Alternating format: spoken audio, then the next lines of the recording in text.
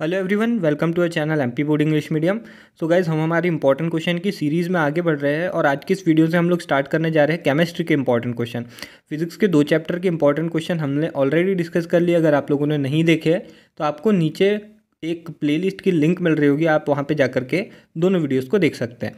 इस वाले वीडियो में हम लोग केमिस्ट्री का चैप्टर नंबर वन जो कि है सॉल्यूशंस इसके इंपॉर्टेंट क्वेश्चन को डिस्कस करने वाले तो आप लोगों से रिक्वेस्ट करूँगा कि अपना पेन और पेपर लेकर के बैठ जाइए।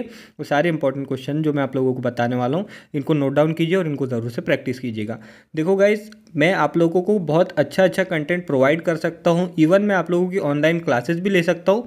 बस अगर आप लोगों का रिस्पॉन्स अच्छा रहा तो। आप मुझे जितना अच्छा रिस्पॉन्स देंगे, जितना मेरे वीडियोज़ को अपने दोस्तों में शेयर करेंगे। मैं उतना ही अच्छा और इंपॉर्टेंट कंटेंट आप लोगों के लिए लेकर के आऊँगा। ये मेरी तरफ़ से प्रॉमिस है। बट आप लोगों का मुझे सपोर्ट बहुत ज़्यादा ज़रूरी है। तो जितना आप मुझे सपोर्ट करोगे, उतना ही मैं आप लोगों के लिए हेल्पफुल चीज़ें लेकर के आऊँगा। तो आप लोगों को पता होगा कि हमारे ब्लू में इस बार क्लियरली मैंशन नहीं किया गया है कि इस चैप्टर से कितने नंबर के कितने क्वेश्चन पूछे जाने वाले हैं।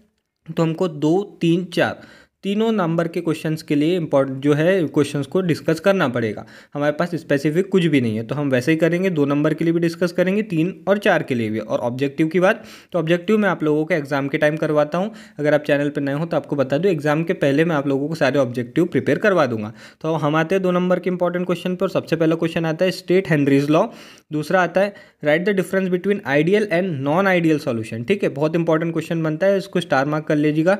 बार बार एमपी बोर्ड में पूछा गया। तीसरा question define the following mole fraction ये पिछले ही साल पूछा गया 2023 का क्वेश्चन है, मैंने इंपॉर्टेंट करवाया था बच्चों को और पेपर में आया भी है। देख सकते हो, मेरे बताए हुए बहुत सारे क्वेश्चन रिपीट होते हैं आप लोगों के पेपर में तो प्लीज़ इन इंपॉर्टेंट क्वेश्चन को ज़रूर से करिएगा।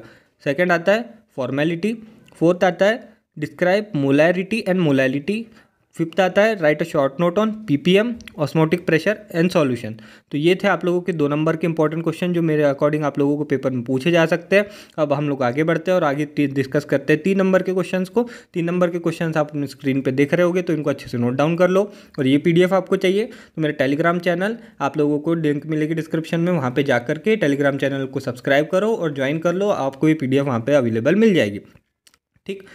तीन नंबर के क्वेश्चन में पहला जो आ सकता है वो है find the molarity of water यहाँ पे एच टू ओ भी लिखा आ सकता है तो कंफ्यूज नहीं होना है, अपना थोड़ा सा बुद्धि, दिमाग का इस्तेमाल ज़रूर करें। ठीक है, दूसरा क्वेश्चन आता है what is Raoult's law describe Raoult's law for a solution containing non volatile solution यहाँ पे अपने मस्तिष्क का अच्छे से प्रयोग कीजिएगा, क्योंकि नॉन वोलेटाइल और वोलेटाइल जो सॉल्यूशन है, उसमें थोड़ा अंतर होता है डिफरेंस होता है तो खुले दिमाग से पेपर ज़रूर सॉल्व करिए। तीसरा क्वेश्चन आता है define the following azeotropic mixture isotonic solution and semi permeable membrane isotonic solution की डेफिनेशन कौन बच्चा कमेंट सेक्शन में बताएगा? जो भी बताएगा उसके कमेंट को पिन कर दी जाएगी। बहुत छोटी सी डेफिनेशन है। या फिर मुझे ये बता दो कि आइसोटोनिक सॉल्यूशन में सॉल्यूट ज़्यादा होता है या सॉल्वेंट ज़्यादा होता है? छोटा सा आप लोगों से क्वेश्चन है। प्लीज़ कमेंट सेक्शन में इसका आंसर देना। चौथा क्वेश्चन आता है डिफाइन वेंट हॉफ फैक्टर तो क्या होता है वेंट हॉफ फैक्टर ये भी आप लोगों को पता होना चाहिए। तो ये थे कुछ तीन नंबर के क्वेश्चन चार नंबर के क्वेश्चन जो कि इस बार पूछे जा सकते हैं मेरे अकॉर्डिंग वो कुछ इस प्रकार से है।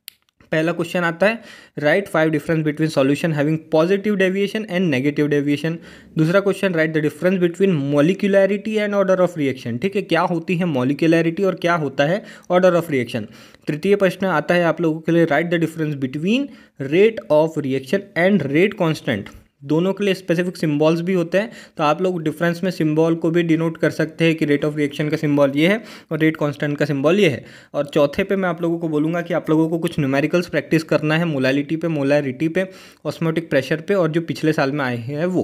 पिछले साल के लिए मैं पीडीएफ रिलीज़ करता हूँ तो उसको पढ़ लेना। दिवाली तक मैं उसको रिलीज़ कर दूँगा तो वो परचेस करके पढ़ लेना। प्रीवियस ईयर पूरी प्रैक्टिस हो जाएँगे। मोस्ट इंपॉर्टेंट होते हैं वो भी क्वेश्चन जो बच्चे आप लोग अगर किसी के रेफरेंस से आए चैनल पर तो आप लोगों को पता होगा कितनी इंपॉर्टेंट चीज़ें मैं डिस्कस करता हूँ।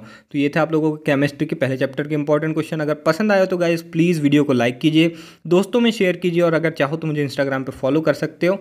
चाहो क्या कर ही लेना है, अब मेरे भी फॉलोअर्स बढ़ जाएँगे। Thank you for watching this video मिलते हैं आप सभी से अगले वीडियो में।